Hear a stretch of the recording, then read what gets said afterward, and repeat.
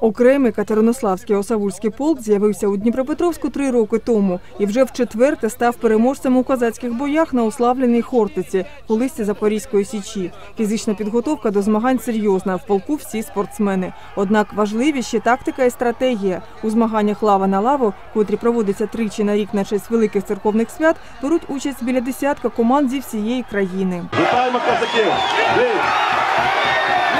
Бій! Енергодар згрупувався і все-таки тисне, тисне. Лава заключается, есть квадрат, поделенный напополам, крайние точки, рубежи надо выбить за территорию противника. Три, схва- три схватки проводятся, три лавы, между лавами бо- борьба на поясах и в крест. Руками бить можно только не в корпус, ниже подбородка и выше паха, ногами бить нельзя. Але не тільки молодецькою силою повинен відрізнятися справжній козак. Если казак имеет желание вступить в наше казачество, он должен ходить в церковь, он должен знать уже молитв, он должен знать э, символ веры, он должен знать «Отче наш». Є у козачому полку писар і навіть художник. Колишній боксер, а тепер полковий художник Сергій Мочалін обрав по життю дорогу духовності, розписує храм царства мучеників на Ігрені, пише картини про подвиги сечовиків. На полотні вгадуються однополчани. От у центрі, наприклад, отаман Віталій Григор'єв. Из истории известно, что атаманов прятали. Почему? Потому что всегда были при походах засады.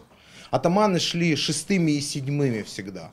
Первые шли, это проводники. Э, Шла кавалерия, которая, так сказать, как сейчас принято, э, телохранители были. Атаман переодевался э, в одежду простого казака для того, чтобы он был незамечен.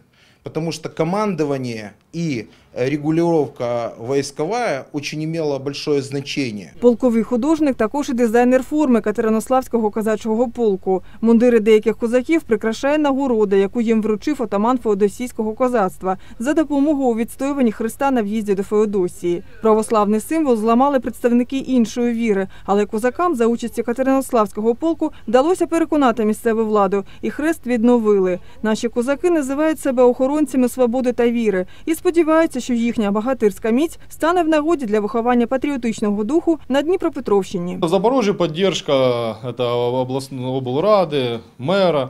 У нас это чуть больше все так з- затушировано, никто особо не вникает и никому ничего не надо. Ольга Хнучова, Володимир Позняк. Новини 9 каналу.